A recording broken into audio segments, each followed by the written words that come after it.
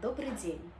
Вас приветствует Национальный институт образования Министерства образования Республики Беларусь, заведующий лабораторией историко-обществоведческого и социокультурного образования МОХ Елена Николаевна.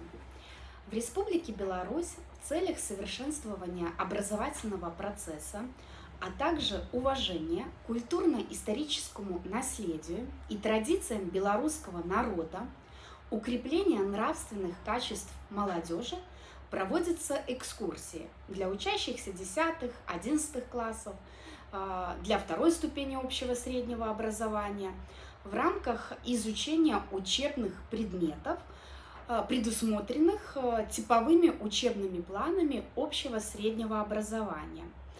С этой целью в Республике Беларусь разработан перечень экскурсионных объектов – и туристических маршрутов, рекомендуемых для посещения обучающимся в рамках проведения учебных занятий и факультативных занятий, внеклассных мероприятиях.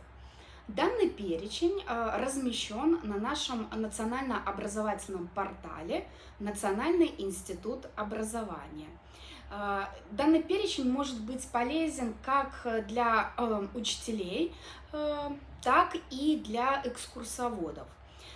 Также хотелось бы отметить, что в Национальном институте образования в 2022 году разрабатывается научно-исследовательская работа Э, разработать интерактивные дидактические материалы по изучению памятных мест Великой Отечественной войны в образовательном процессе.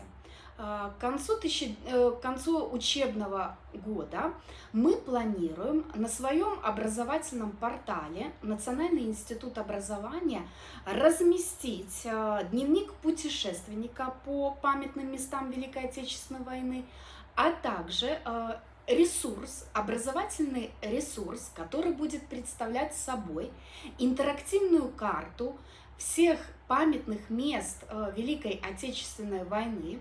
К интерактивной карте будут э, также для учителей э, которые преподают э, учебный предмет «История Беларуси» и э, модуль э, «Великая Отечественная война», предложены дидактические материалы по изучению памятных мест Великой Отечественной войны, задание для того, чтобы наши учащиеся могли а, поработать с историческим документом, проанализировать воспоминания а, свидетелей, участников Великой Отечественной войны, поработать с фотоизображениями, с аудиоматериалами, с видеоматериалами, этот образовательный ресурс будет в открытом доступе, и каждый желающий может э, использовать данный ресурс в образовательном, в образовательном процессе, а также при проведении воспитательных э, мероприятий.